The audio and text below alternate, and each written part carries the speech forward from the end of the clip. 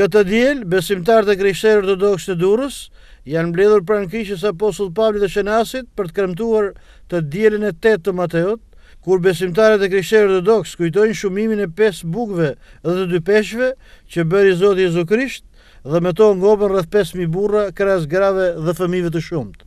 Pjesa e Ungjillit që besimtarët dëgjuan sot transmeton shumë mesazhe të rëndësishme për të krishterët ortodoksë. Në rradhë të parë ata shohin se për Zotin çdo gjë është e mundur, sado e pamundur të jetë kjo gjë për njerëzit. Nga ana tjetër, ata kuptojnë se nëse njeriu ofron sadopak nga gjërat e tij dhe nga kapaciteti i tij, Krishti mund ta shndrojë këtë gjë të pakët në një dhuratë të madhe. Kjo do të thotë se kur njeriu beson me gjithë zemrën e tij tek Perëndia, atëherë ndodh dhe mrekullia. Dhurata e vogël prej pesë bukësh e dy peshqish shtohet dhe mjafton për të shtuar urinë e mijëra njerëzve dhe në fund madje teprojnë dymbëdhjetë shporta me ushqime.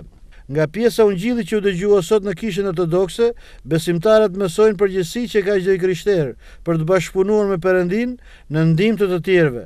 Kur ata shohin rreth vetes njerëz në nevojë, Kur shohin probleme në ambientin që i rrethon, besimtarët duhet të kontribuojnë për zgjidhjen e tyre. Perëndia është e gatshme të ndihmojë dhe të kryejë mrekulli, por nevojitet dhe bashkëpunimi, që mrekullia të ndodhë me të vërtetë.